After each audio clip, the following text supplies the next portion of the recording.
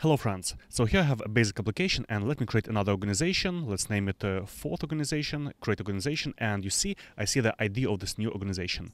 And this is uh, considered not a good security practice to have your IDs visible in the URLs or if you like uh, hover on uh, uh, a link, you say I go to inspect and I see the ID of this resource. Because uh, a competitor can uh, know how many organizations I have in total and uh, he can check a month from now and see what is the growth rate of my application. So uh, this is the most simple example why you would want to hide IDs from uh, your URLs and your markup. Now uh, there are a few different ways to hide IDs.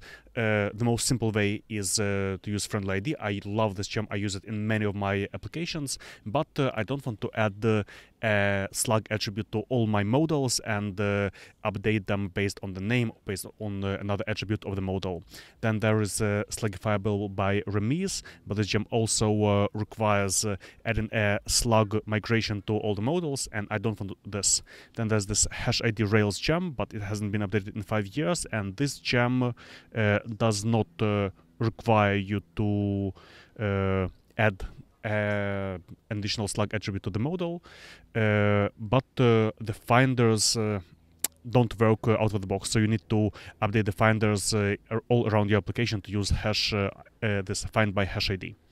Then there is this ID gem that is uh, very nice, but uh, again, it does not uh, support the default Rails find method. So you would need to use article dot findy instead of article.find all around your application. And I want uh, just a drop-in solution that works uh, uh, out of the box when you just add it to the application and you can uh, uh, obfuscate all the IDs around your application. Then there is this prefixed IDs gem by Xside and it's a nice gem, but the IDs that are generated can get really long and also not all the find the methods work out of the box. So you would need to use find by prefixed ID in some places instead of just using uh, find. And uh, while exploring Bullet Train, uh, it's an open source Ruby on Rails boilerplate, I noticed their IDs. You see, I'm like navigating different resources, and here is an example of an obfuscated hashed ID of the resource. So if I like hover anywhere, you see uh, I will have this uh, obfuscated ID and not the real ID of the record. And looking into the source code of uh, Bullet Train, that's actually open source, I highly recommend you to uh, have a look at it. Uh, I found where these obfuscated IDs in Bullet Train are defined. So they have this concern obfuscated uh, IDs. Uh, let's try adding this uh, concern to our application and see if it can be a drop-in solution to obfuscate, to hide our IDs in our application all at once with minimal installation. So I will go to my modals. Mm.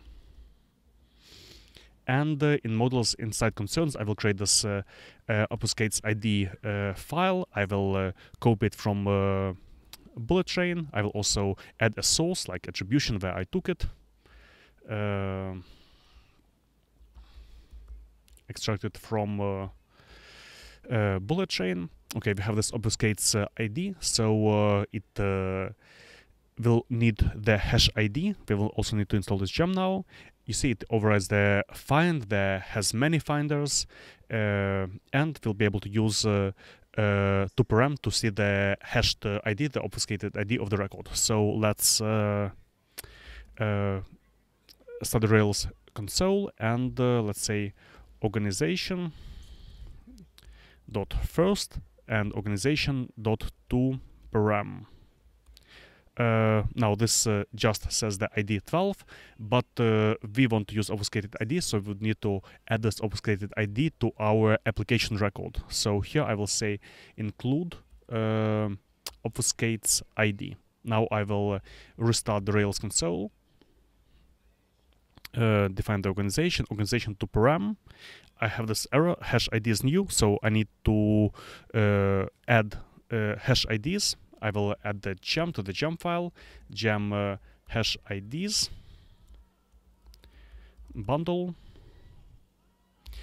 bin, uh, yeah, no need to run bin dev, let's first try in the console, uh, defining the organization, organization.toParam, and you see, instead of the ID, previously we had the ID, here we have this uh, hashed ID. So if we start the server,